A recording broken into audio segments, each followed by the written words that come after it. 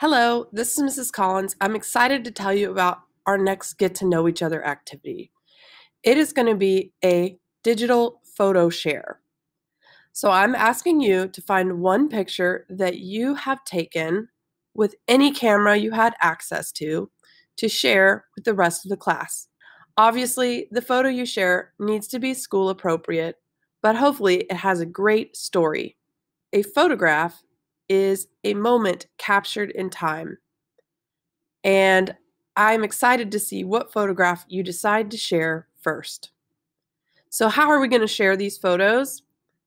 If it's a small class, you can simply pull up the photograph on your MacBook and make it as big as possible on the screen to show your peers.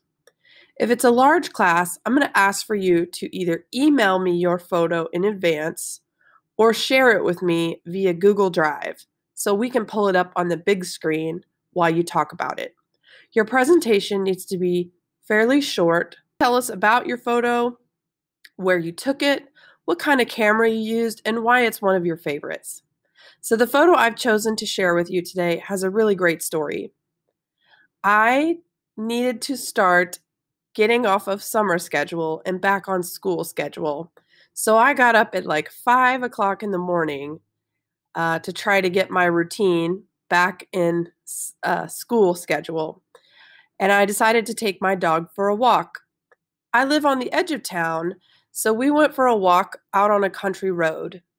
I was walking along, and let me just say, I had a green shirt on, so I kind of blended in with the landscape. Uh, my dog is very, he's very tan. I was walking along and I had my sunglasses on and didn't have my actual glasses, so I couldn't see very well. And the rest of the story is I start to see something off in the distance running at me, like sprinting at me across the field. I'm having a panic attack because I can't really see what it is. I think it might be a mountain lion or a coyote or something. I didn't know what it was. Lo and behold, it got really close to me and it was a baby deer, a little fawn.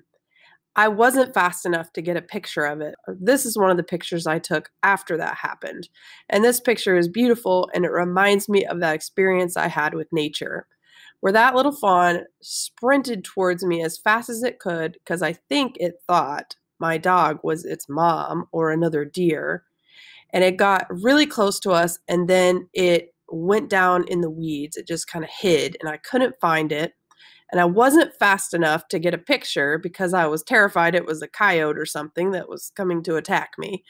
But the rest of the story is it was a beautiful morning and the sun was amazing and the clouds were marvelous and we could see really interesting light and there happened to be this uh, pond in a cattle field where we I got to capture some really beautiful reflections.